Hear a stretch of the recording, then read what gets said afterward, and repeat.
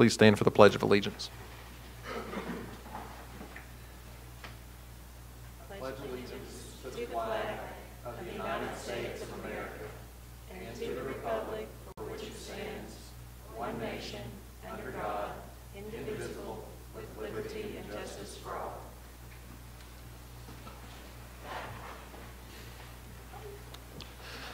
All right. Uh, Thank you all for coming out tonight. Um, I will note that um, one member, Mr. Pollard, is uh, unable to be here in person, but he should be on the, on the line uh, and on the screen.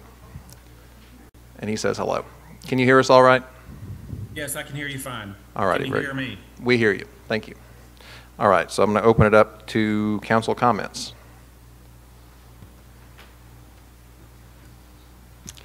All right, city managers' comments.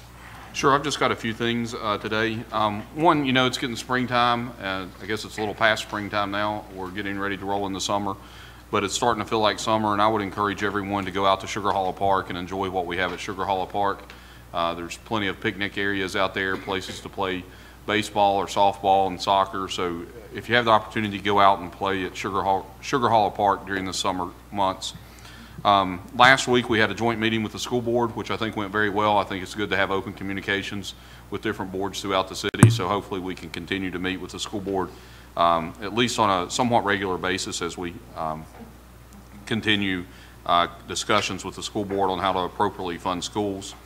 Um, Also, remember that there are a lot of uh, events in downtown Bristol during the summer months. We have uh, concerts and movies in Cumberland Square Park. Uh, Border Bash starts in June.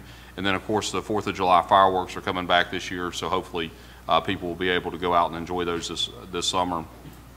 Uh, Also, uh, this week is Emergency Medical Services Week, so I'd like to thank all our EMS workers here in the city of Bristol and elsewhere that provide those services um, for people in need, especially when they may need them at the most serious times in their life. So thank you to the emergency medical service workers. And finally, I'd like to uh, recognize one of our employees um, who constantly amazes me at the fact that we have employees who are engaged in the city. They watch our city council meetings on a regular basis. I know we have employees at the fire department that watch on a regular basis and other employees throughout other city departments, but I do want to recognize uh, Larry Boardwine. He's our animal control officer. He continually watches and he's up to date on what's happening in the city, so I want to thank him and everybody else who watches our city council meetings so that they can stay up to date on what's happening here in the city. All right, very good, thank you. Uh, Matters to be presented by members of the public for non-agenda items. We have one person who signed up for a non-agenda item, and that is uh, Mr. Lawrence Dunn. And uh, as you're on your way up, so when you get up here, if you will, uh, state your name and where you're from. Green light comes on, you have three minutes. Yellow light comes on, you have 30 seconds. Red light comes on, you're out of time, so if you just wrap up after that. And uh, thank you very much. This is on. My name is Lawrence Dunn. I'm a Bearcat class of 1981. I'm a lifelong resident. I'm here to tell who needs to pay for the dump. The businesses, they have made money for years off the backs of the lower class. It took a pandemic to finally get decent pay. So businesses owe this community for being what they are today. The businesses owes this community the most that would absolutely not exist whatsoever in Bristol is the casino. The ones of us that voted for these are the ones that are truly responsible for their local existence. So maybe they and the other employers here can stand tall and show their appreciation to Bristol's citizens. It would gain respect and loyalty from the workforce and the community. It would strengthen the economy here and make more profitable. It would build morale, and without the debt, the city could fund its schools like promised, as well as addressing other important issues. Considering the casino choice was not put up for bid, it was handed to Hard Rock. Leaders should have said, we're in a terrible way on this, and we need some help. We're going to choose you, and you all will help us. That would be just 10% a month for 60 months at the 13 to 15 million dollars they're making a month. Why should the residents pay? This started with Paul Spangler seeing the dump as a cash cow, so it piled up faster than it could decompose. Several years ago, a city road engineer told me the dump was about to be an ecological disaster. They should have stopped taking trash then and began a search for a place to take it then. Instead, they kept it coming for the money. I didn't support buying the files. It's another rock quarry. We had one, that was enough. And then the city was surprised that the rock quarry had so many rocks. So why put the burden on us? We have a person making decisions that does not live here, nor was he interviewed for the job as city manager. He was put in under shady circumstances. He should take his job as an attorney, and we should look and hire a city manager. If he didn't have so many jobs, he wouldn't need help. Three of you up there know I made a serious accusation against our police department. The mayor lied and said he'd get back to me the same week. That was the week that he was sworn in. I give him an extra week and responded again, and I got no response from him, even though he told me he would. And you got two classes of people. You got the rich ones getting the special treatment. They should pay more than us. I saw and reported a drive-by shooting with an automatic airsoft gun. I was never interviewed, and four rich kids got special treatment and got off. Not having an incident like that on their record is priceless. And three of you think that's okay. Three of you think it's okay. You all didn't investigate and you didn't get back to me. We need to fire the mayor, the vice mayor, the ex-mayor, the city manager, and the police chief. All right, thank you very much. Uh, We have one other person that's signed up, and, and so it looks like you signed up for, for an agenda item, so you'll get there in the, in the agenda item section, Mr. Knapp. Uh, Next is adoption of the agenda. Uh, Mr. Mayor, I move we adopt the agenda as presented. Second. All right, motion from Mr. Farnum, second from Mr. Holmes. Please call the roll. Farnum. Yes. Holmes. Yes. Nave. yes, Pollard. Yes. Osborne. Yes. All right, uh, into the regular agenda. Uh, Item one is a proclamation to honor and recognize the Virginia High School swimming and diving team for winning a 2023 Class 1-2 state championship. Staff report. Council, on February 18, 2023, in Christiansburg, Virginia, the Virginia High School swimming and diving team uh, captured the Class 1 slash 2 state championship with a team score of 202 over Clarke County and Radford. Tonight, we recognize these student athletes and coaches for all their hard work and congratulate them on this huge accomplishment. All right, thank you very much. Uh, Next is reading of the proclamation, which I believe I do. Uh, Reading the proclamation.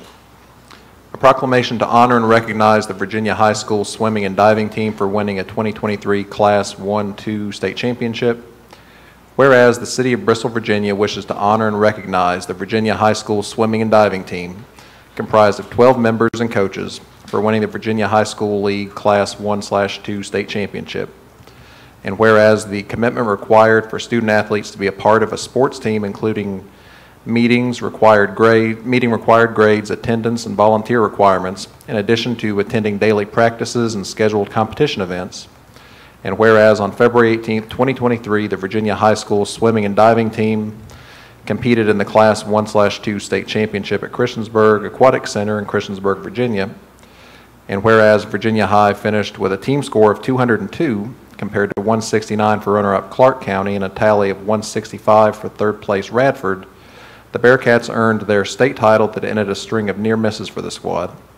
And now, therefore, by virtue of the authority invested in me as the mayor and on behalf of the Bristol City Council and citizens, I applaud the commitment of the Virginia High School Swimming and Diving Team 2023 Class 1/2 state champions.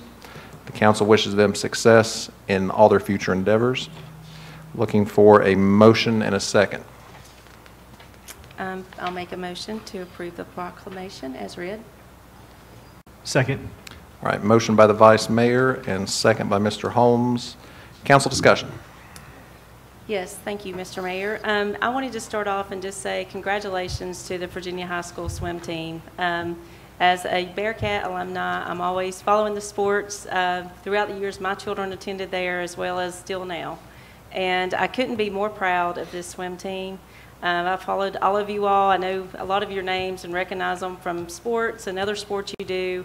And then especially um, also to the head coach, um, Coach Van Nostrand, and then also to Coach Molly, who um, was also there uh, a few years back when I was there, and I can't say enough about all the, um, it wasn't that long ago. And I appreciate all that you all have done, and also the youth leadership and, and making a difference in youth lives throughout the years. Um, I would like to also um, name each member of the state swim team, and I also want to recognize um, Braden um, Meredith for your first place in the uh, dive and getting the state championship in that, um, which I think kicked off this whole thing and ended up then the whole team uh, in the state championship. So um, I want to recognize Coleman Austin, Gage Coleman, Elijah Fricker, Adam Horosky, Wilson Hartley, Brody Jones, Carter Kerr, Justin Mai, Braden Meredith, Caden Price, and Carter Price. So congratulations to all of you all. We are proud.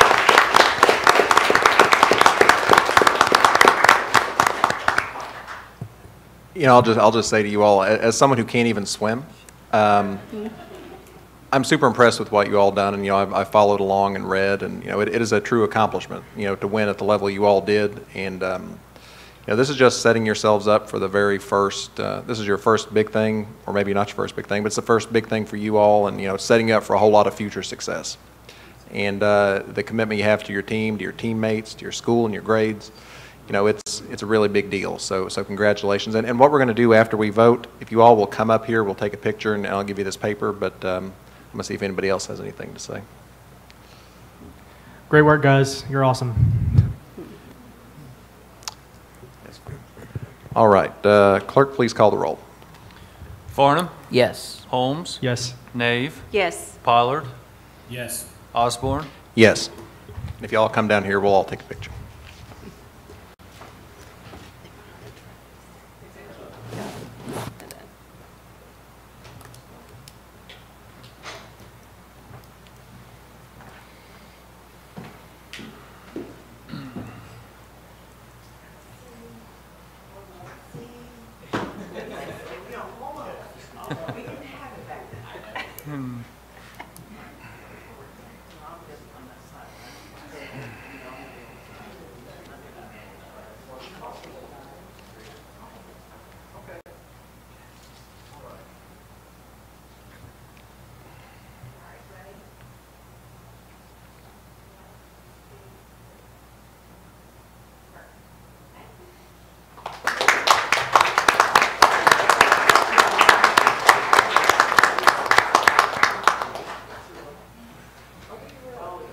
And I will also add to that, this is the first state championship for swim and diving in the program history of Virginia High School. So that is huge, huge accomplishment. All right, and- and thank you all again, and let's give them one more round of applause for what they did.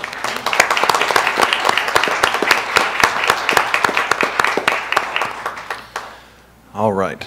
Uh, Next item is proclamation designating May as Foster Care Awareness Month slash Foster Friendly Business Month. Staff report. Uh, Council, the City of Bristol, Virginia recognizes May as National Foster Care Awareness Month, and we seek to honor the dedication of foster families, organizations, faith leaders, and businesses that support our children in care, as well as social service workers that support them. In solidarity with Small Business Month, Virginia Kids Belong is recognizing businesses that are foster-friendly, that open their hearts and home to serving children in Virginia's foster care system. All righty, thank you. Uh, Reading of the proclamation, do you want to do that one? I thought you were doing proclamations, but I can do it. We can trade off, you go ahead. All right. A proclamation designating May as Foster Care Awareness Month, Foster Friendly Business Month. Whereas the city, Bristol City Council, the governing legislative institution of Bristol, Virginia, in the United States of America, recognize that May is National Foster Care Awareness Month and that this body seeks to honor the dedication of our foster families, organizations, faith leaders, and businesses that support our children in care, as well as the social service workers that support them. And whereas we do hereby unite in solidarity and common purpose to also recognize the month of May, Small Business Month, as small businesses are critically important to supporting their communities in many ways to promote the well-being and the ongoing success of our thriving community. And whereas we would like to officially recognize the contribution of Bristol small businesses in supporting the Foster Friendly Business Initiative, an invaluable program to support those foster families that have opened their hearts and home to serving children in Virginia's foster care system.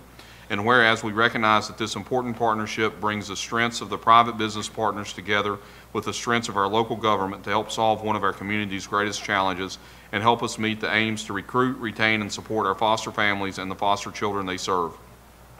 And now therefore be it resolved in recognition of Foster Care Awareness Month and in recognizing the dedication of our small business partners, faith leaders, and other community partners to improve the condition of our most vulnerable children and deliver a world-class class foster-friendly business initiative that brings the best example of pub- public-private partnership to support bold, transformational community action the Bristol City Council do hereby proclaim and establish the month of May to be Foster Friendly Business Month in perpetuity in Bristol, Virginia, and thank those working on behalf of Bristol residents for helping make our town an even more vibrant, thriving, and compassionate place to call home.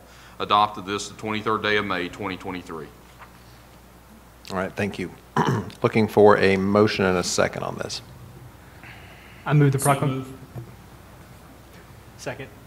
All right, so a motion from Mr. Pollard, second from Mr. Holmes. Council discussion.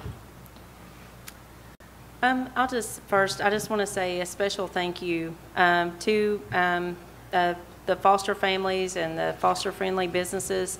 I serve as an appointment from this council on the Department of Social Services Board, so I see firsthand the difference that it makes. So a special thank you to all of them. I would like, I would like to also add, um, this is such an important initiative. Um, oftentimes, these these kids in foster care don't have don't have strong advocates for them. So, designating this month as Foster Care Awareness Month, um, Foster Friendly Business Month, is such a a, a PR thing, but it's such a good rec- recognition for the need in our community and and what we can do, what businesses can do. So, I, I appreciate us doing this. Well, we have um, had as a discussion for the city council several times the topic of abortion. Well, abortion, if we were to eliminate abortion, that does not resolve our issue because we have to make sure that the kids are taken care of. Fostering kids helps make sure that those kids who are born have a safe, family-friendly environment in which to live and thrive. And the, the, this organization helps make sure that happens, and they are very valuable to our community in doing so. All right, and I'll just say, um, it is, it is incredibly important. The, the number of children who are, you know, in foster care for, you know, a lot of reasons, and, and none of them, you know, none of them their own fault. You know, it, it's important to support families that, um, that take these kids in and provide them with a loving environment, a loving household, and a family. Um, so, you know, I know we're declaring May as, you know, Foster Care Awareness Month, but it, you know, should be all, all 12 months. You know, you should, you should be aware of the tremendous sacrifice that foster families make and, and the commitment they have to this, you know, all 365 days a year. Um, so I'll say after, after we have this vote, I believe Mr. Verlander is here. Uh, do, you- do, did you want to say anything before we vote? Thank you. All right, well, hearing no other discussion, uh, please call the roll. Farnum. Yes. Holmes. Yes. Nave. Yes. Pollard. Yes, Osborne. Yes, and if you want to come down, I'll give you a.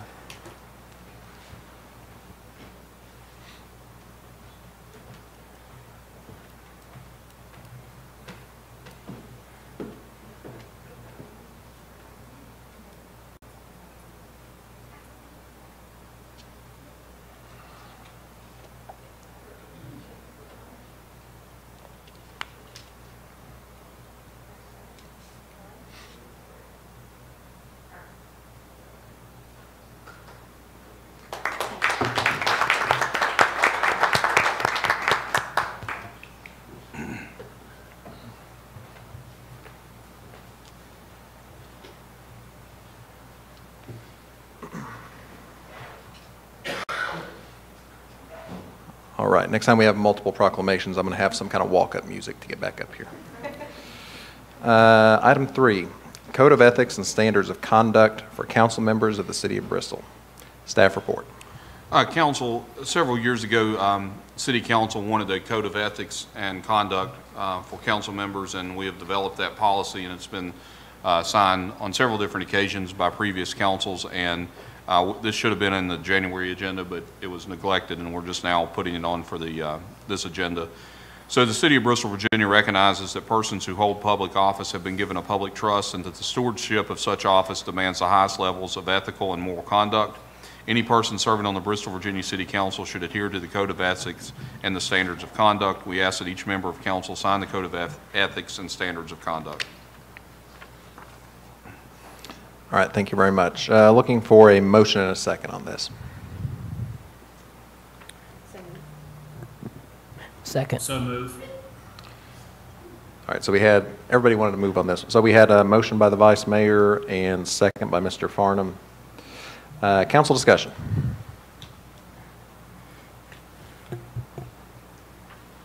All right. Uh, And I'll just say, we have a copy of it that we're going to pass around, have everybody sign, and whenever Mr. Pollard is back, um, we'll give him the opportunity to sign it also. Um, Please call the roll. Farnum. Yes. Holmes. Yes. Nave. Yes. Pollard. Yes. Osborne. Yes. All right. Uh, Item four is resolution authorizing the mayor of Bristol to renew the joint cooperation agreement with the Northeast Tennessee Virginia Home Consortium. Uh, No one has signed up for public comment. Staff report.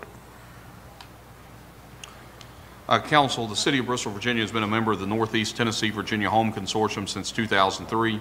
The City of Bristol, Tennessee, as lead entity for the consortium, receives and administers home funds on behalf of the member entities.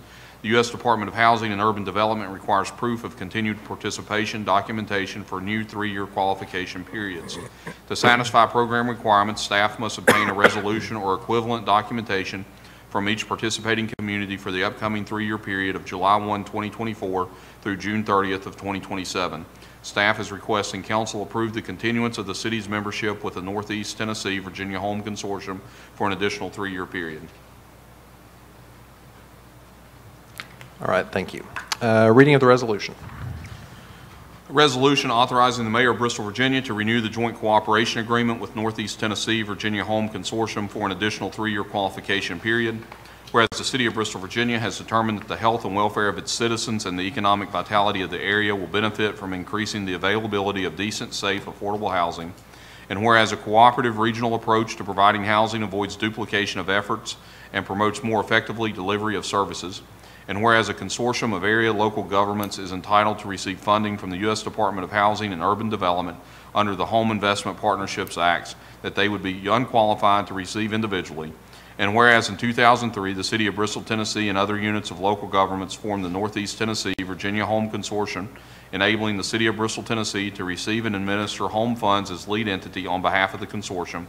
And whereas the U.S. Department of Housing and Urban Development requires such consortia to be formally redesignated every three years, now therefore be it resolved by the City Council of the City of Bristol, Virginia, that the City Council hereby supports the continuation of the Northeast Tennessee Virginia Home Consortium and authorizes the mayor to execute agreements with other participating units of general purpose local government to continue this consortium.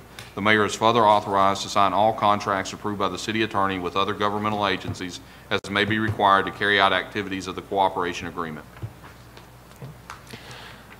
All right, thank you very much. Uh, Looking for a motion and a second to take action on this. I move to approve the resolution as presented. Second.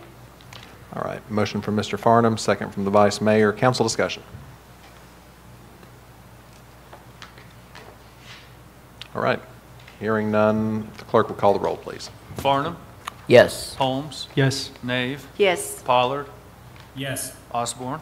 Yes. Uh, Next item, resolution approving application of Virginia Tobacco Regional Revitalization Commission for feasibility study Mendota Trailhead Connector to Bristol. Uh, No one has signed up for public comment. Staff report. Uh, The 12-mile Mendota Trail is almost completed. Most of the trail is currently opened. I believe they're supposed to complete the rest of it by the end of the year. It runs from Mendota in Washington County, Virginia, to the Bristol City line. A recommendation in the Mendota Trail Master Plan uh, 2021 uh, is to create a safe bike connector path from the Bristol Trailhead to downtown Bristol. The City of Bristol is requesting funding from the Virginia Tobacco Region Revitalization Commission uh, for about, a for $100,000 as match for an Appalachian Regional Commission grant, uh, which is ARISE. Um, The cost of the feasibility study will be approximately $200,000. So I I will just add, once, um, we're- we'll make application for both um, of these funders to match each other. All right, thank you very much. Uh, Reading of the resolution. A resolution of the City Council of the City of Bristol, Virginia, authorizing submission of an application to the Virginia Tobacco Region Revitalization Commission for a feasibility study on proposed connector from Mendota Trailhead to downtown Bristol. Whereas the City of Bristol, Virginia is eligible to apply for funding from the Virginia Tobacco Region Revitalization Commission. And whereas Mountain Heritage is finalizing all trestle work on the 12-mile Mendota Trail, which runs from Mendota, Virginia to Bristol, Virginia, to the Bristol city line. And whereas Mountain Heritage has established a trailhead at the Bristol city line for the sole purpose of Mendota Trail access from the city.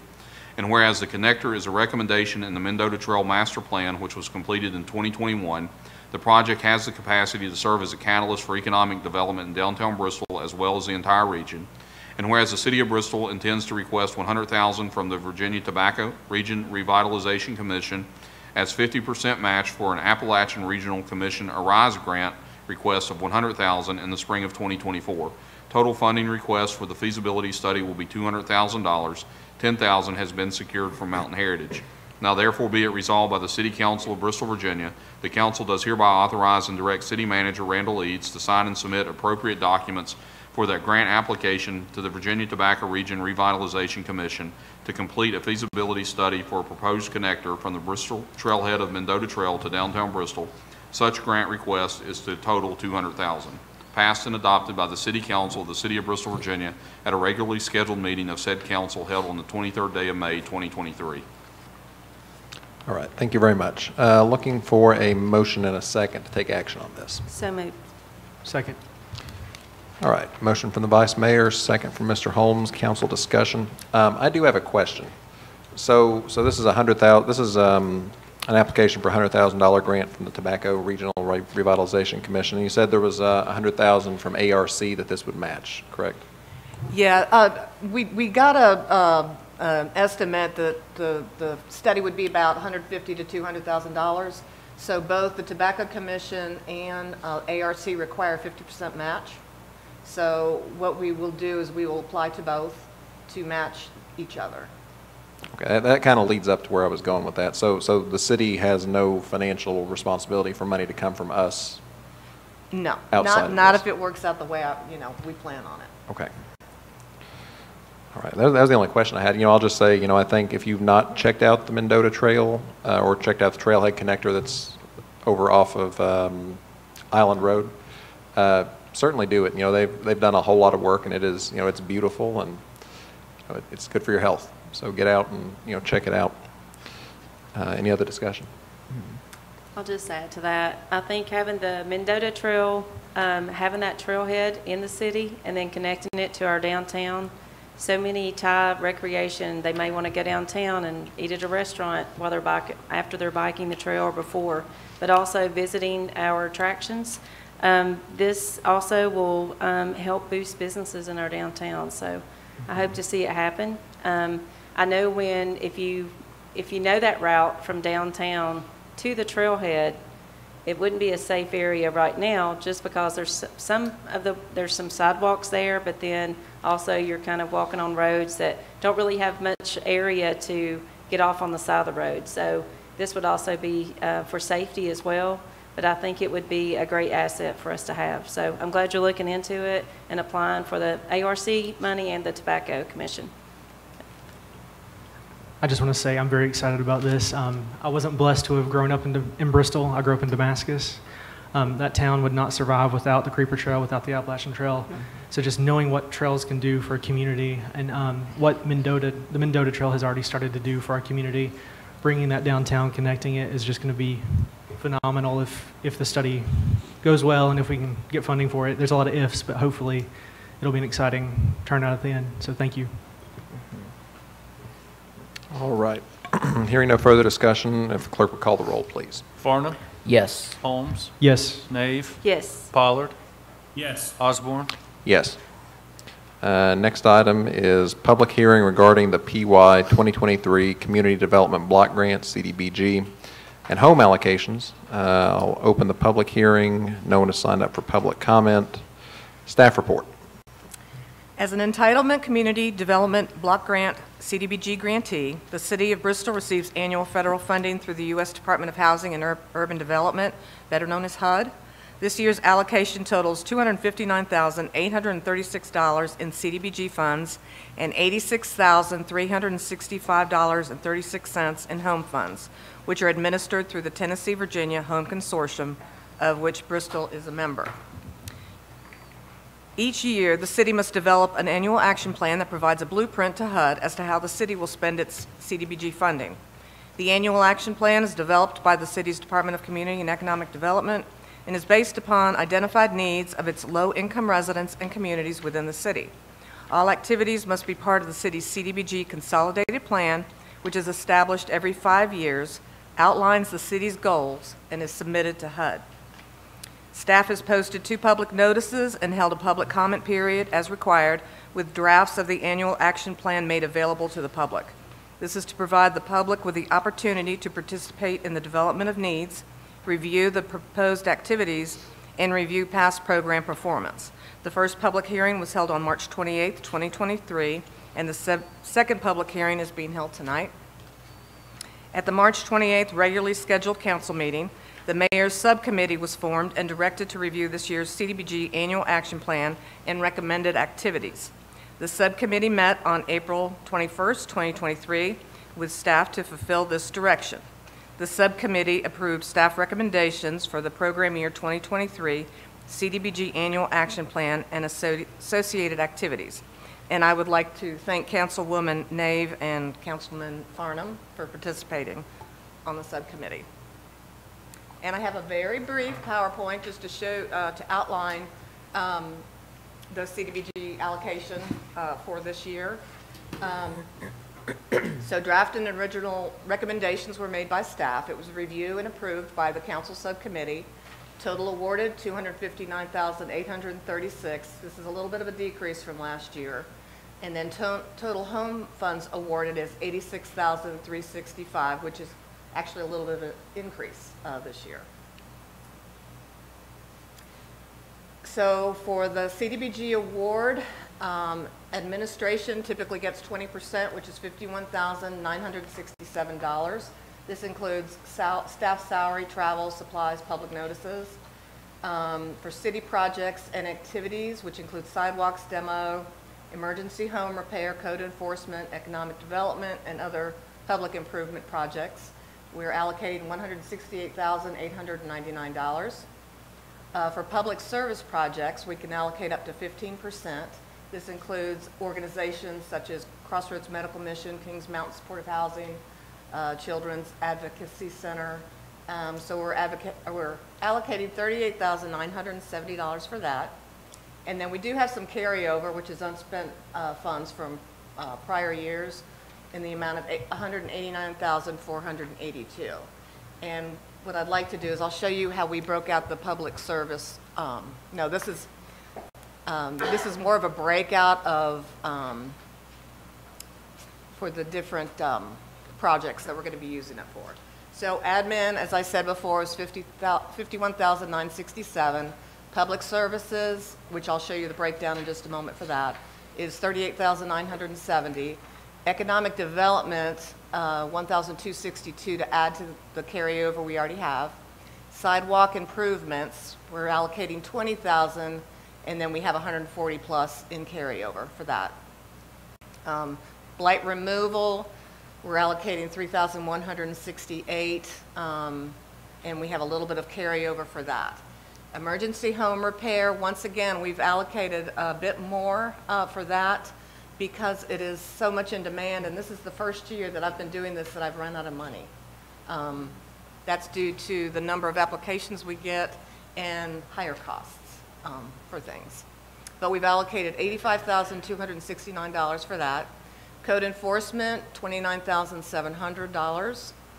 Um, Jones Creativity Center is considered economic development and it's part of the Bristol Public Library. We're giving them uh, 15000 this year.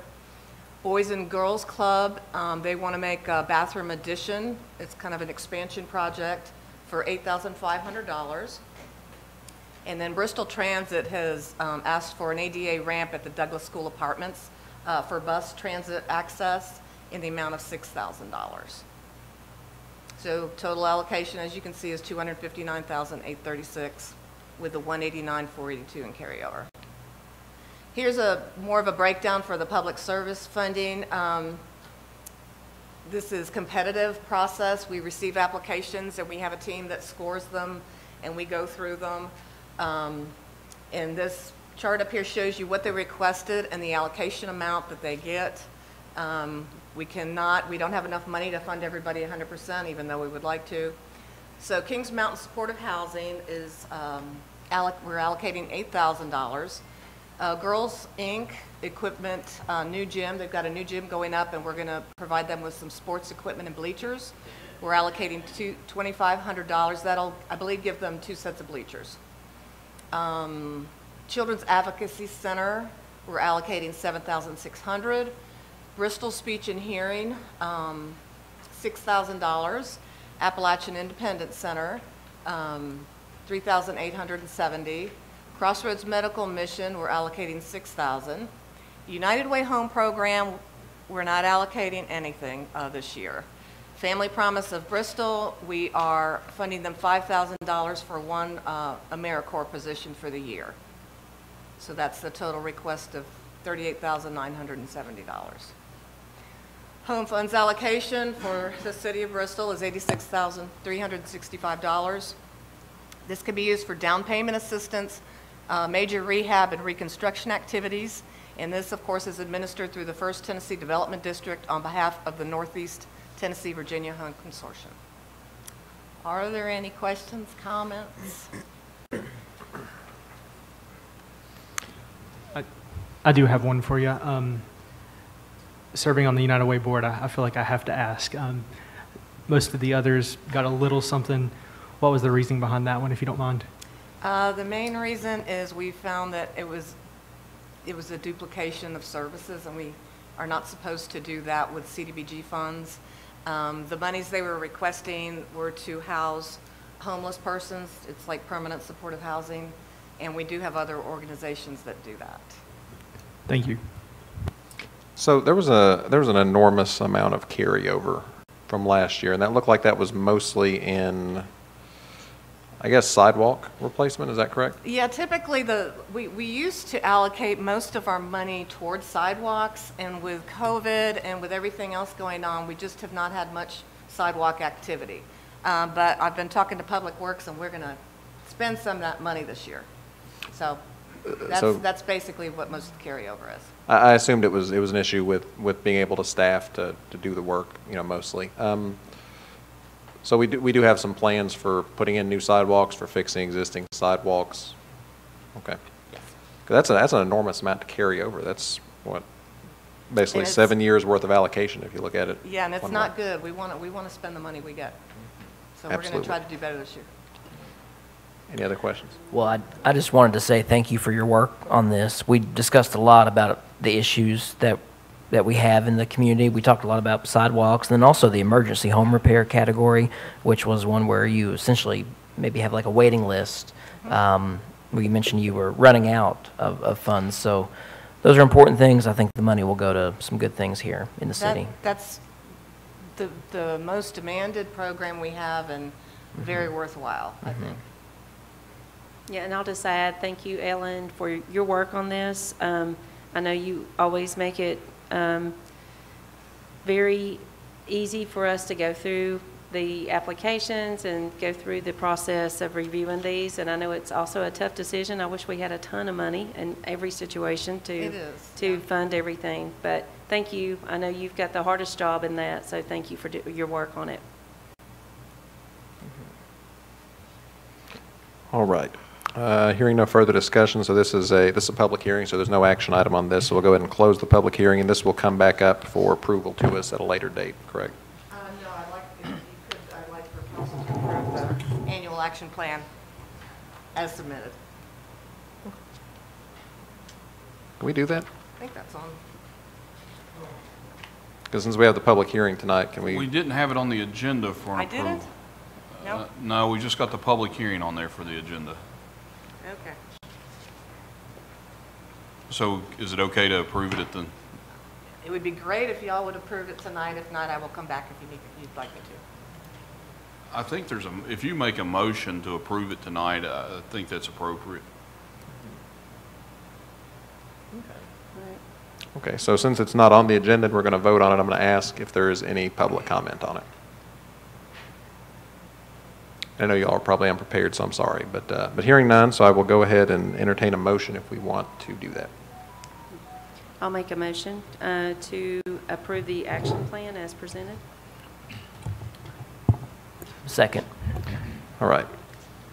Motion from the Vice Mayor, second from Mr. Farnum, and this is to give final approval for the Community Development Block Grant Home Allocation Plan as presented. Um, Any further discussion? Hearing none, please call the roll. Farnum. Yes. Holmes. Yes. Nave. Yes. Pollard. Yes. Osborne. Yes. All right, next item is approval of a contract with Quantum Consultants to update the city comprehensive plan. Staff report. Yes, uh, thank you, Mr. Mayor, members of council. Uh, Just a little background. Most of you probably know what the city comprehensive plan is. It is the plan which um, guides future land use development in the city. Uh, It is also a required plan by state code. You'll hear me talk about the comprehensive plan a lot when I do the rezoning staff reports, special use permit staff reports. Is this part of the comprehensive plan? Is it consistent with the plan? So this is probably the most important plan that we have in this department that, that we look to for these future land use discussions. Uh, As I mentioned, state code does require the planning commission to evaluate the current comprehensive plan every five years to determine whether or not we should keep the old one or do an update. And when I say update, I, I'm pretty much meaning a new plan. So we're updating what we already have for a new plan. Um, the current plan right now has been determined by the Planning Commission that it does need to be rewritten. Uh, The previous plan was in 2017, and as you know, everything that's happened within the last five years, uh, between COVID, um, we have a new zoning ordinance update since then, a subdivision ordinance, the casino, a new intermediate school. So there's a lot that's happened over the last five years that uh, both staff and the planning commission believed that we should go ahead and present a new plan to help us through these next five to 10 years of development. Uh, So staff advertised a request for proposals at the end of uh, 2022. Four proposals were submitted, and the Comprehensive Plan Selection Committee chose two finalists to interview. Of those two finalists, Quantum Consultants was selected. The proposed amount of the contract is for $120,000, and it is attached along with the proposed scope of the project. There is one typo I noticed in that contract under section number two, the um, performance time, it does still say May 15th. That will be updated, say May 23rd if it is approved. So based on this, staff recommends approval of the contract. All right, thank you very much. Uh, Looking for a motion and a second to take action on this. Mr. Mayor, I move we approve this contract as presented. Second.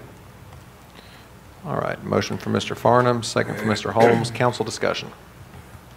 I just wanted to say thank you, Mr. uh, Mr. Jay, about uh, all the work that you've done with the Planning Commission and with the comprehensive plan.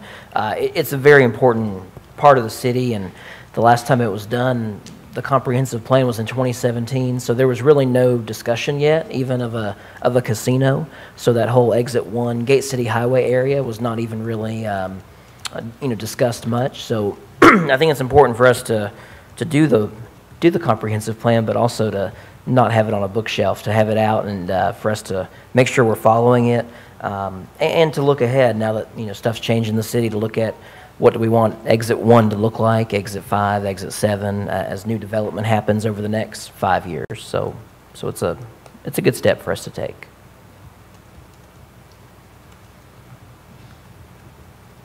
I want to express my appreciation for everything that Mr. Dietrich does uh, for the city with its planning. Uh, And I want to say that uh, I do see the usefulness of uh, an updated, a new comprehensive plan, particularly with the changes in the city over the past year and planned over the next year. Um, However, I'm not convinced that we need a comprehensive plan right now, especially with the amount that it'll cost the city. I was involved with the current comprehensive plan, and I was chair of the planning commission for several years. Uh, The planning commission and city staff review the comprehensive plan regularly, and they update it periodically. And they have made some changes, particularly concerning the future land use map. They have a state mandate to review the plan every five years, but not necessarily to entirely redo it, much less to pay an outside firm to do so. Again, I see the value in doing so, but I'd rather wait another year or two for this cost. That said, I understand that the council doesn't have much choice in the matter other than to approve the vendor and to provide funding. Uh, So I, I want to voice my objection to the timing, but the vendor selection does seem appropriate.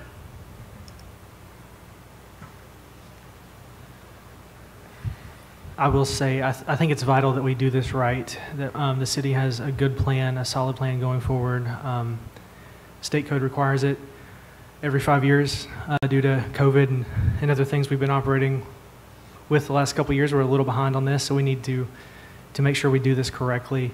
Um, there has been a lot of changes in our city over the last six years. Um, serving on the planning commission the last two years, I have seen seen a lot of those, uh, seen the impacts of a lot of those, and seen seen some gaps in our current plan that just aren't covered. We're just not not being able to deal with from the plan things that we need to deal with. So I. I, I think it is vital that we move forward with this. It is vital that we have a solid, um, comprehensive plan for the city. Um, we've seen in previous years the results of not having a solid plan for our city. Let's not do that again. So I, I think we should move forward with this.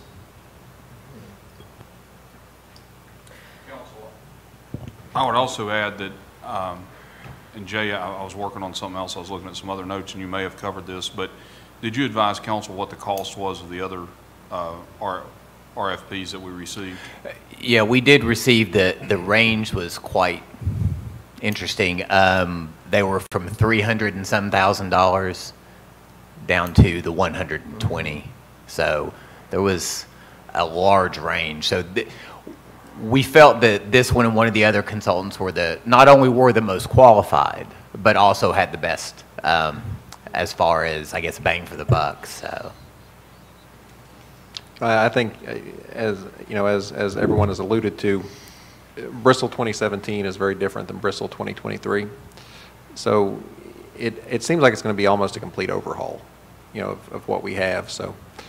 um, Obviously, I know we're required to take the lowest responsive and responsible bidder uh, for RFP prices, but, um, you know, I appreciate Quantum Consultants for, for putting in their bid. Um, I did a little bit of Googling when I first heard this. I know they're a very good company, so, you know, they'll, they'll produce a very quality product. And I will tell you, they were responsible for the Mendota Trail Master Plan, so they are familiar with Bristol.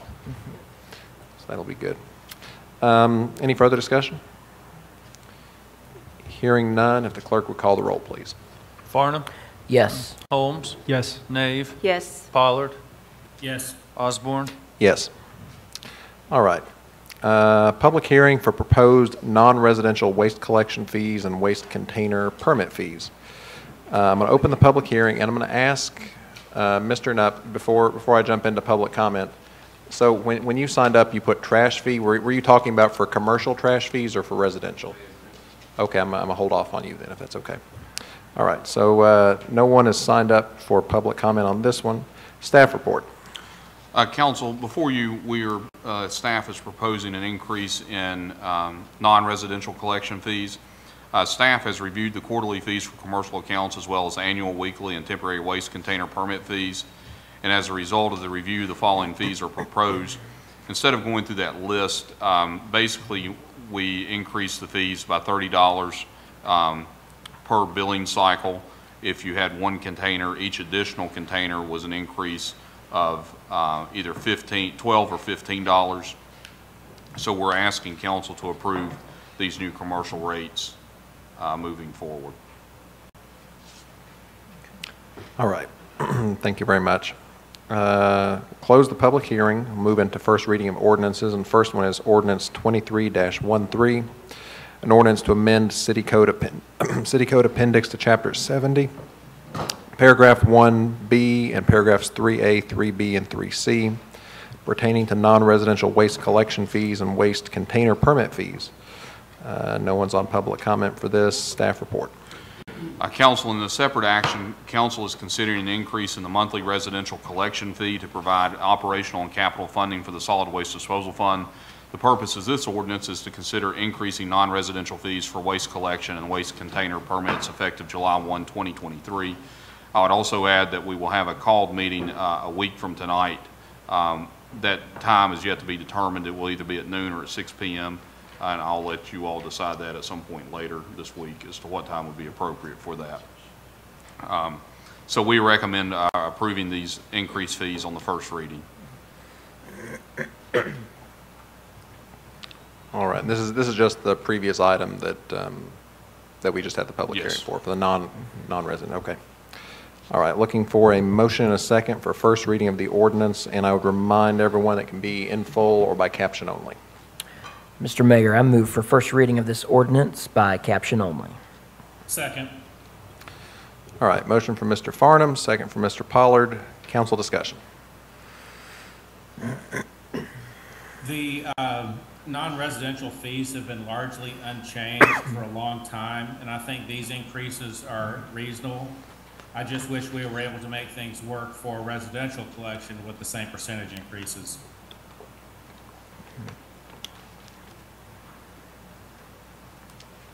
How many uh, commercial customers do we have roughly? I don't know the number of commercial customers we have, but it- right now, we budget approximately $100,000 a year in commercial fees. This will increase, uh, these fees will increase uh, that amount to about $122,000.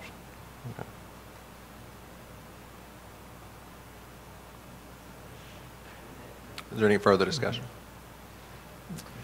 Hearing none, please call the roll. Farnum. Yes. Holmes. Yes. Nave. Yes. Pollard. Yes. Osborne. Yes. Uh, Reading of the ordinance by caption only. An ordinance to amend City Code Appendix to Charter 70, Paragraph 1B, and Paragraphs 3A, 3B, and 3C pertaining to solid waste fees. All right, thank you. So now we'll move into ordinances that will be on their second reading. Uh, An ordinance to vacate all of a certain public right-of-way in the city of Bristol. Uh, No one has signed up for public comment. Staff report. Uh, Council, this is the second reading of the ordinance, this um, vacating the public right-of-way off of Glenway Avenue. Uh, Code 15.2, 2006 requires the vacating of a public right-of-way, requires advertising of such requests in a public hearing. The city council should then consider the request to vacate the right-of-way by ordinance. Attached is the ordinance that you all have previously approved. Uh, Staff recommends that city council vacate the public right-of-way as shown on the attached drawing. There are no existing or proposed utilities on the segment of the unopened and unimproved alley. Therefore, it is recommended that no utility easements will be retained by the city. All right, thank you very much. Uh, Looking for a motion and a second for second reading of the ordinance, and this can be in full or by caption only. I move the second reading of the ordinance by caption only. Second.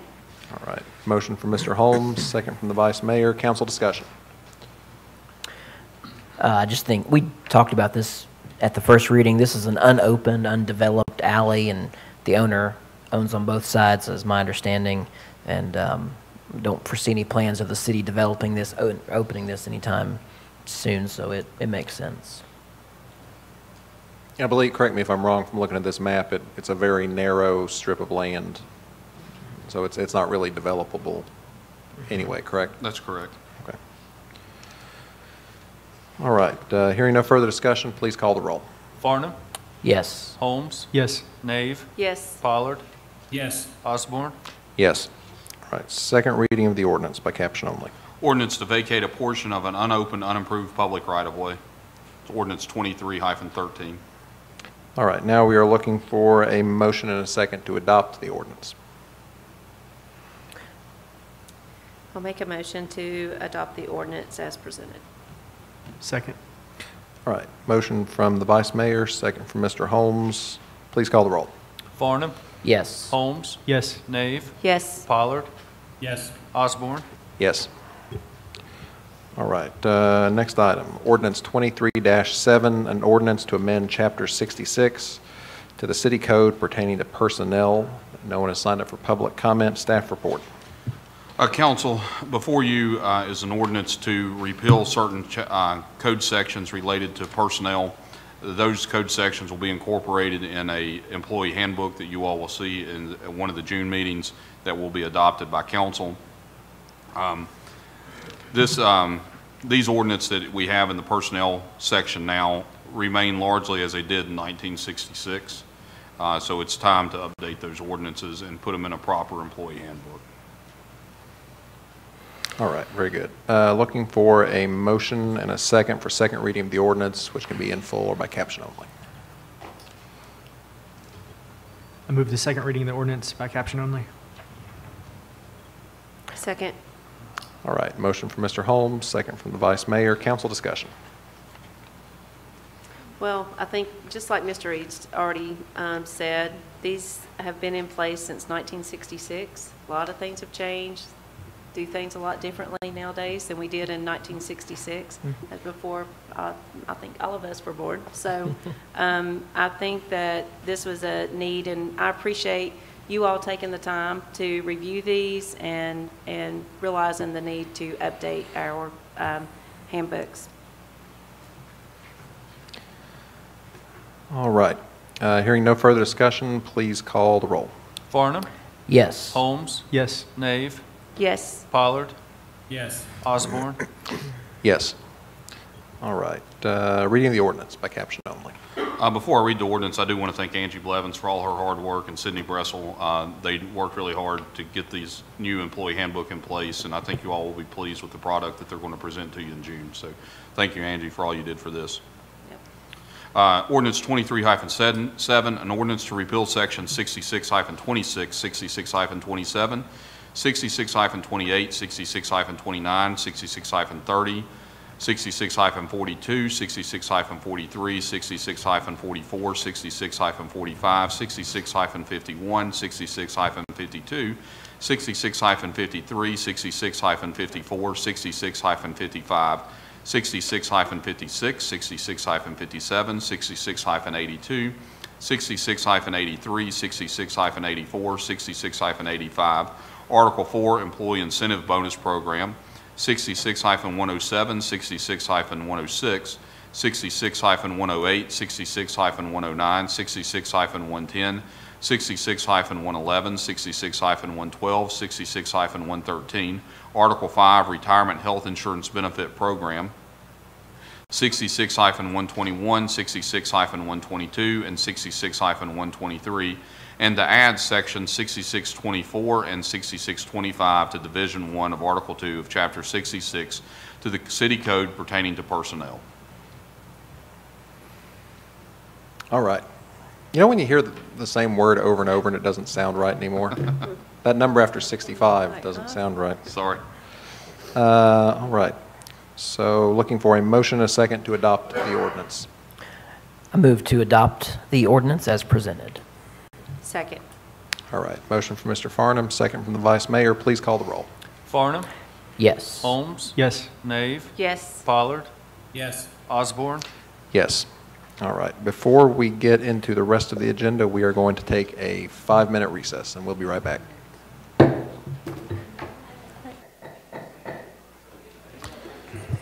All right. We are back from that word from our sponsors. Um, Next item on the agenda is ordinance 23-8, an ordinance to amend Section 7.03 of Chapter 7 of the city charter pertaining to the Human Resources Department. Uh, No one has signed up for public comment. Staff report. Uh, Council, in 2010, the title of the Personnel Department changed from Personnel Department to Human Resources Department. This ordinance amends Section 7.03 of the city charter to adequately reflect the title of our Human Resource Department. The first reading of this ordinance occurred at the regularly scheduled city council meeting on May 9th. All right, looking for a motion and a second for second reading, which can be in full or by caption only. Mr. Mayor, I move for a second reading of this ordinance as presented by caption only. Second. All right, motion for Mr. Farnum, second for Mr. Holmes. Council discussion.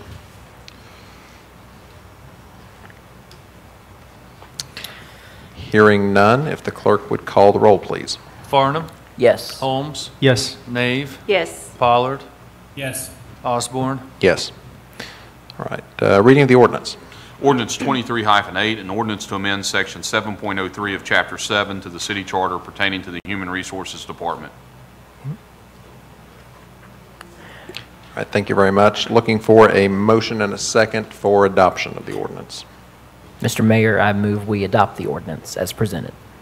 Second. All right, motion from Mr. Farnum, second from the vice mayor. Uh, Please call the roll. Farnum. Yes. Holmes. Yes. Nave. Yes. Pollard. Yes. Osborne. Yes.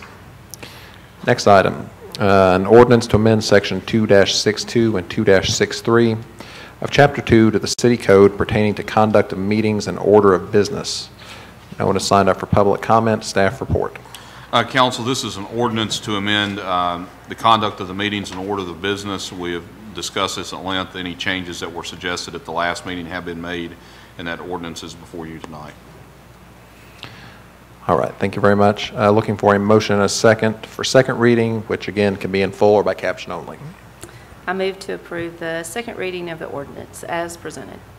Second. Uh, Caption only. Yeah, by caption only. Thank you. Your second goes with that. You will appreciate that. All right, motion from the vice mayor, second from Mr. Holmes. Council discussion. Hearing none, please call the roll. Farnum. Yes. Holmes. Yes. Nave. Yes. Pollard. Yes. Osborne. Yes. Reading of the ordinance. An ord- uh, ordinance 23-14, an ordinance to amend Section 2-62 and 2-63 of Chapter 2 to the City Code pertaining to conduct of meetings and order of business. All right, thank you. Looking for a motion and a second for adoption of the ordinance. Mr. Mayor, I move we adopt the ordinance as presented. Second. All right, motion from Mr. Farnum, second from Mr. Holmes. Please call the roll. Farnum. Yes. Holmes. Yes. Nave. Yes. Pollard. Yes. Osborne. Yes. All right. Uh, Next item, ordinance 23-9, an ordinance to amend City Code Chapter 78, Article 7, Section 78-202 pertaining to tax on purchased meals, levying amounts. Uh, No one signed up for public comment. Staff report. Uh, Council, the purpose of this ordinance is increase the tax on purchased mills from 7% to 10% effective July 1, 2023. The additional funding is necessary to provide operational capital funding for general government services, including but not limited to public safety, education, health and welfare, streets, and park and recreation. All right, thank you. Looking for a motion and a second for second reading, which can be in full or by caption only. I move the second reading of, of the ordinance by caption only. Second. All right, motion from Mr. Holmes, second from Mr. Farnum. Council discussion.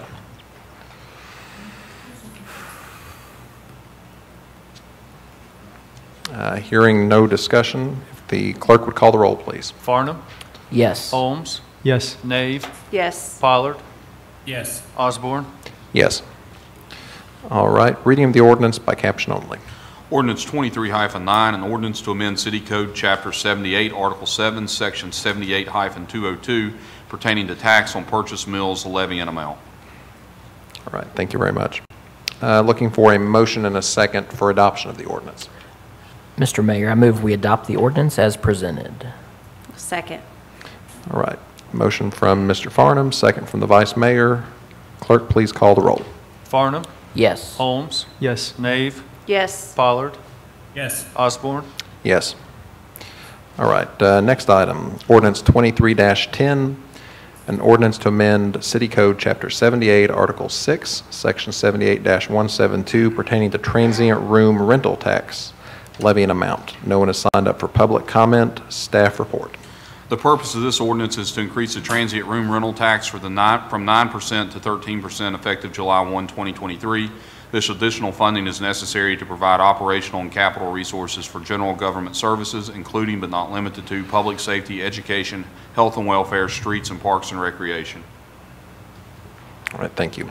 Uh, Looking for a motion and a second for second reading, which can be in full or by caption only. I move the second reading of the ordinance by caption only. Second. All right, motion from Mr. Holmes, second from Mr. Farnum. Council discussion. I do have one question. What was the estimated um, increase in revenue from the lodging tax increase? Approximately $220,000. Or Thank you. that's per, I'm sorry, that's per penny. So um, it'd be close to 800 and some thousand, 880. About 80, okay.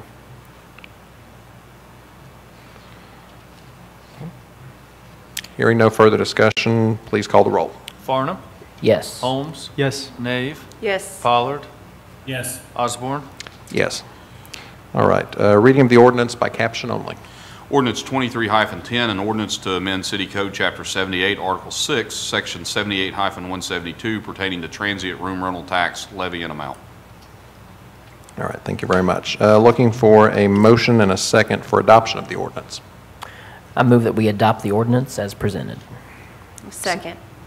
All right, uh, motion from Mr. Farnum, second from the Vice Mayor. Please call the roll. Farnum. Yes. Holmes. Yes. Nave. Yes. Pollard. Yes. Osborne. Yes.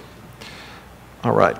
Uh, Next item is ordinance 23-11, an ordinance to amend City Code Appendix to Chapter 70, Paragraph 1A pertaining to solid waste fees. Uh, We do have someone who signed up for public comment, and that is Mr. Nutt. And I would tell you the rules, but you know how they work, so I do. Go Thank you, ahead. guys. Good seeing everybody tonight. Uh, I know this is going to get voted through on the trash fees, but I want to hear this public, public on the retired people and the dis disabled people. What are you going to charge them? Is there any qualifications for these folks that's worked all their lives? And the people that's drawn disability, what kind of qualifications do we have on this? So I'll say, um, there are, there are a couple of requirements you have to meet, um, but you go through the Commissioner of the Revenue's office, and there's, a- there's a form you fill out. Um, Mr. Eads, do you remember the exact qualifications? I do not know the exact qualifications. You have to be uh, 65, disabled, and have to meet the uh, federal poverty guidelines. Um, That's off the top of my head. I'm looking for that code section right now. Um, I believe, I believe if you meet those requirements, it takes you, I, I I believe it gives you a, a third. I understand that, but you got other, you got some people out there, guys, you know, it's a struggle to make it, and you're on disability, it's, it's a struggle. I think they should just, and I'm gonna argue on this too.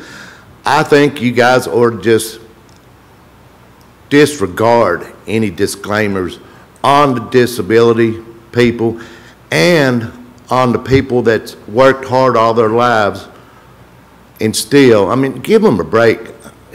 I'm gonna have to pay it, and I know it. Do I like it? Hell no. But, and you've heard me argue with it. No, I dis, I still disagree with it. But come on, before you guys vote in this tonight, make it for the, the people that's worked all their lives and the other people, you know most of the people's not going to qualify for this. You guys know it. Randy, you know it. Tamara, you know it. You've seen the numbers. Give these people a break. I know it's going to be rough still yet on other people, but give these other people a break. I'm talking for the citizens of Bristol, Virginia. I'm representing them all, and you know I got a mouth, I don't care to run it. Please, please, please, give these people a break. Don't let them pay that. Let them pay the twenty-some dollars a month, whatever it is. They've earned it. And other people, I mean, you know, thirty, thirty-seven dollars, I'm not thirty, twenty-seven dollars a month, that don't sound like a whole lot, but it can be. You you add that up by a year, it's a lot of money. But before you vote that in, please, I'm asking. Y'all have a good night. Thank you very much. Council, that code section seventy twenty-four, it's the exemption for elderly and disabled persons. Solid waste user fee relief shall be provided to property owners at least sixty-five years of age or anyone found to be permanently and totally disabled as defined in Code of Virginia, section fifty-eight point one thirty-two seventeen, provided the applicant's income is at or below the current federal poverty guidelines. Uh, The Commissioner of Revenue, it's the responsibility of the Commissioner of Revenue to verify that and uh, document that on a yearly basis. All right, thank you. Uh, Move into staff report. Uh, Council, the purpose of this ordinance is increase the monthly residential collection fee from $33 to $60 effective July 1, 2023. This additional funding is necessary to provide operational and capital resources for the solid waste fund. Pursuant to Code of Virginia, Section 58.1-3007, notice was properly given of a public hearing on proposed tax rates and solid waste fees for the 2023-2024 fiscal year. The notice of public hearing was published in the Bristol Herald Courier on Sunday, April 2nd, 2023, and citizens were given an opportunity to appear before the local governing body at the April 11th, 2023 regularly scheduled city council meeting. This ordinance was passed on the first reading the- at the May 9th, 2023 city council meeting and has not been revised. All right, thank you. Uh, Looking for a motion and a second for second reading. This can be in full or by caption only. Uh, Mr. Mayor, I move for second reading of this ordinance by caption only. Second. All right, motion from Mr. Farnum, second from Mr. Holmes. Council discussion. The um, original proposed fee was too high, and the current proposed fee is still too high. I proposed a way to lower it to fifty-five dollars, but it seems there wasn't consensus to pursue that plan. I hope we can revisit it later, because we don't have to wait until next year to change it.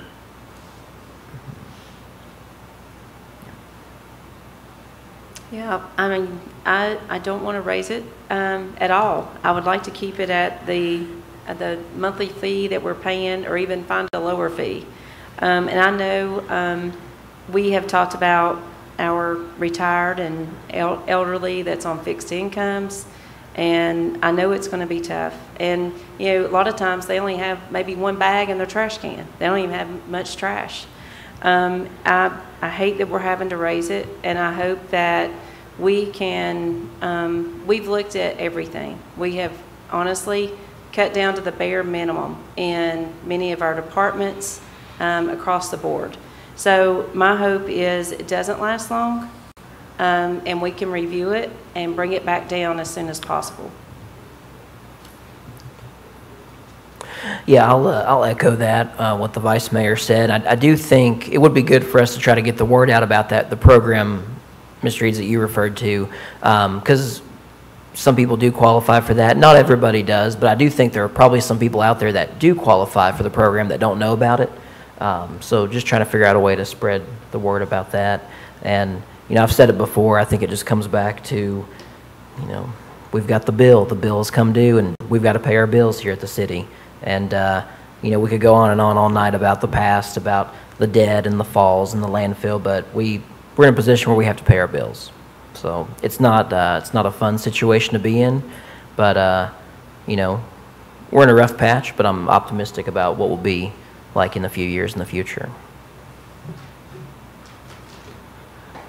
There's, there's nothing we can say that makes this um, palatable. Um, I'm hoping it's a very, very temporary number, a very temporary thing.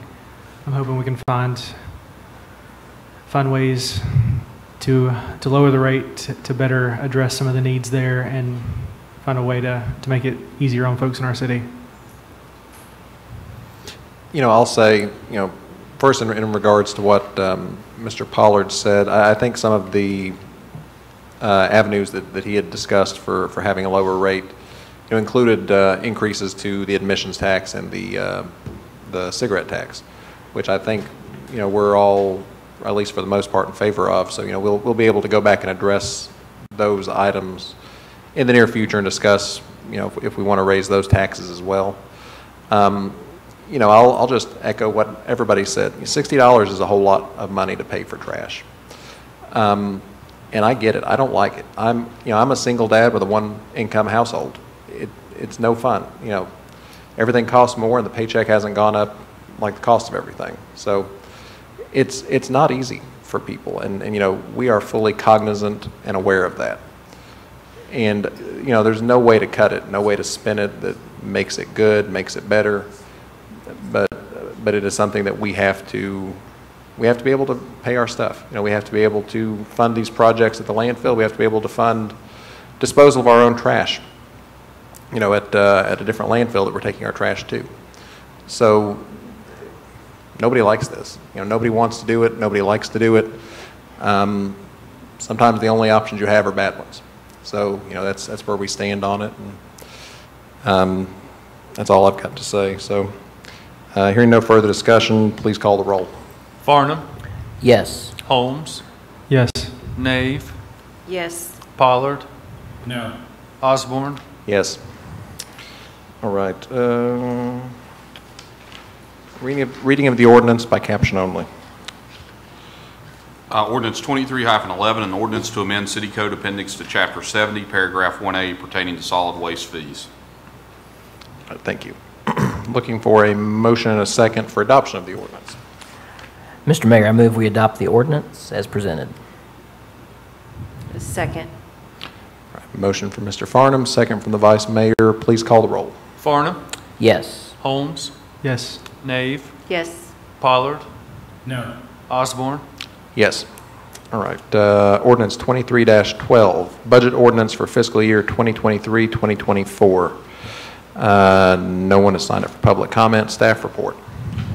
Uh, Council, uh, pursuant to Section 10.03 of the City Code of Bristol, Virginia, on March 28, 2023, the city manager submitted his annual budget estimate for the fiscal year 2023-2024, including a bound document detailing the proposed budget ordinance and other required information. Prior to the first reading on May 9th, the city manager presented revisions to his initial proposed budget, and city council proposed one minor revision. None of these revisions impact the total expenditures reflected in the budget ordinance, and all were adopted on first reading. The budget ordinance requires one additional reading. All right, thank you very much. Uh, Looking for a motion and a second for second reading, uh, which can be in full or by caption only. I I'll move, make the- him, oh, go ahead. I move the second reading of the ordinance by caption only. Second. All right, motion from Mr. Holmes, second from the vice mayor. Council discussion. I asked at the inaugural meeting for the budget to, um, for the budget to include funding for a city attorney. Um, I've repeated that request through the budget process, and I proposed the funding amount and details to fund it. Um, I'm afraid I may have generated some hostility for taking a stand on this issue, but I see this as one of our bigger needs right now. Okay.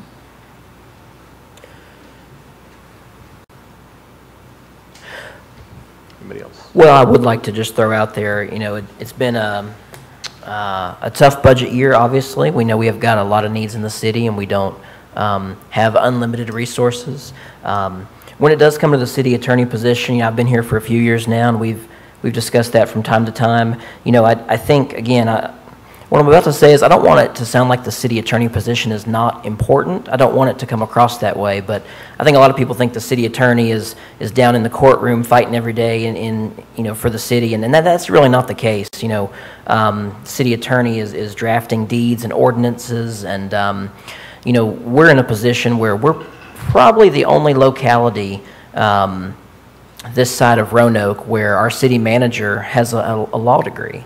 So we're, we're at an advantage uh, over other localities that don't have that. Um, a lot of times, if there is some sort of, of legal issue, uh, we do seek outside counsel.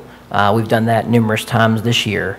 So, uh, and I'm one who has said for, um, for a number of years, uh, maybe not here in open session, but in, in other meetings, that uh, the city manager is busy and we need, we've got a whole layer of, of city staff that, I mean, we've got great people here now, but we also need more positions and, and, you know, starting with the city manager, that we need an assistant city manager um, who can be there to handle some of the things that the city manager slash city attorney uh, may not be able to get to because he's focused on, on other things. So uh, I think we're making progress. Um, Obviously, we've had some, some great hires here recently. I- You know, the rest of the city staff here, obviously, there's a handful right now that I'm seeing that weren't here when I started, and I'm, I'm happy all of you are here, and we're building that, uh, that Super Bowl winning roster here at the city.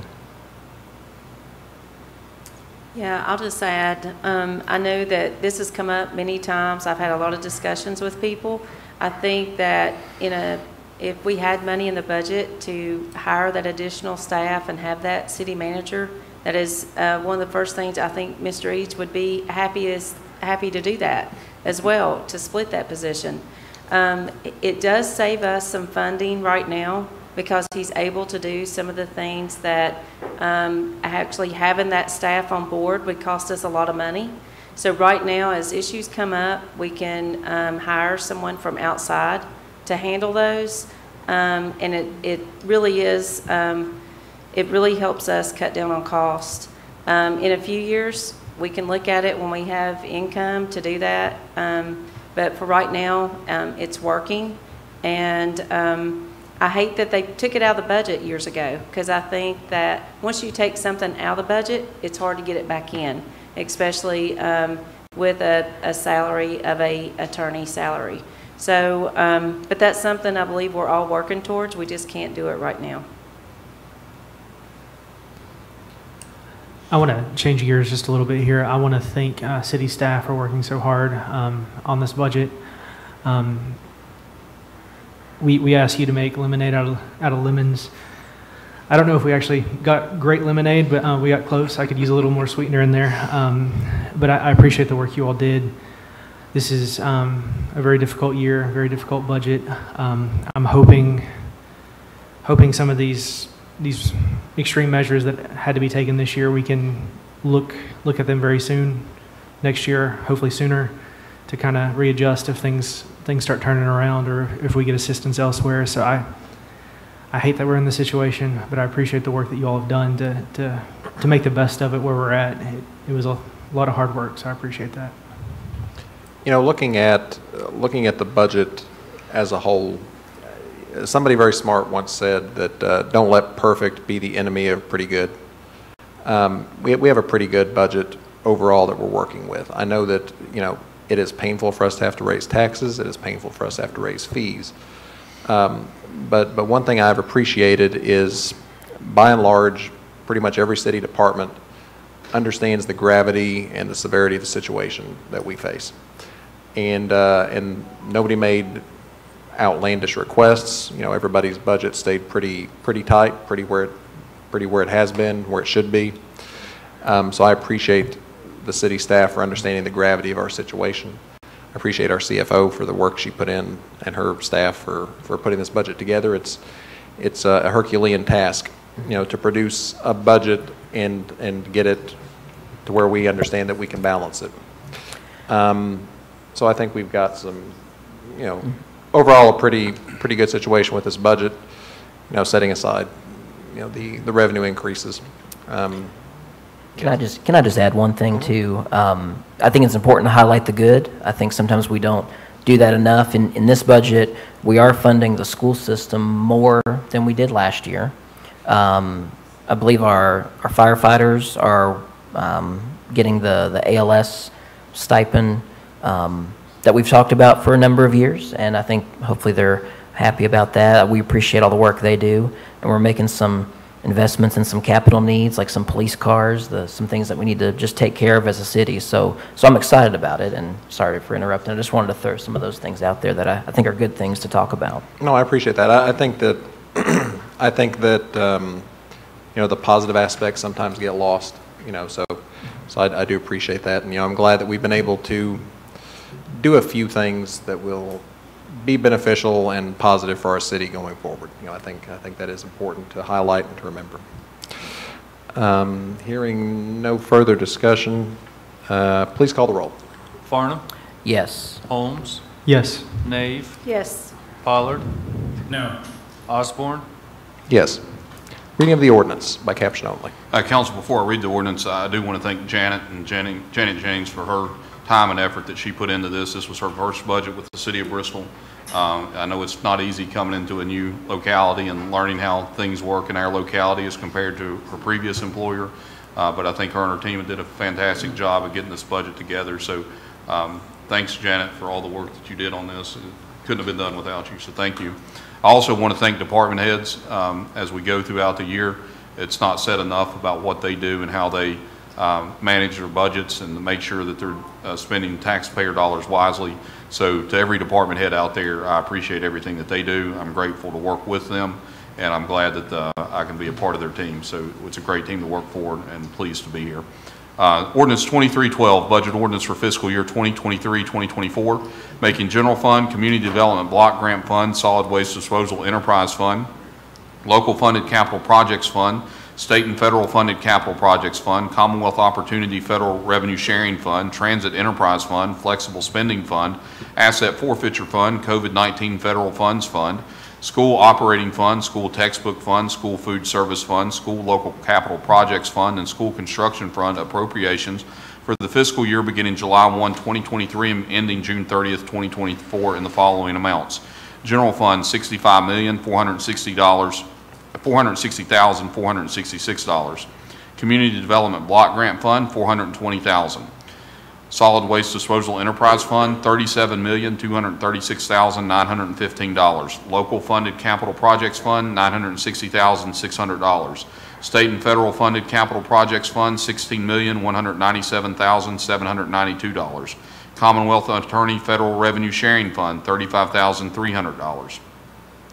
Transit Enterprise Fund, $1,064,549. Flexible Spending Fund, $28,500. Asset Forfeiture Fund, $150,600. COVID-19 Federal Funds Fund, $2,195,560. School Operating Fund, $41,205,198. School Textbook Fund, $1,428,780. School Food Service Fund, $2,494,952. School Local Capital Projects Fund, $797,904. School Construction Fund, $2,102,214. And regulating payments out of the city treasury and also fixing the tax rate and real and property, on real and personal property for fiscal year 2024. Uh, Council, I'd also add that we'll have the budget books available later this week for you all. All right, thank you very much. Uh, Looking for a motion and a second for adoption of the budget. Mr. Mayor, I move we adopt the budget as presented. Second. All right, motion from Mr. Farnum, second from the Vice Mayor. Please call the roll. Farnum. Yes. Holmes. Yes. Nave. Yes. Pollard. No. Osborne. Yes. All right. Closed session uh, pursuant to Section 2.2-3711A1 Code of Virginia 1950 is amended. Discussion, consideration, or interviews of prospective candidates for employment, assignment, appointment, promotions, performance, demotions, salaries, disciplining, or resignation of specific public officers, appointees, or employees of any public body personnel. Looking for a motion and a second. Mr. Mayor, I move we move into closed session for the reasons stated. Second. All right, motion from Mr. Farnum, second from the Vice Mayor. Please call the roll.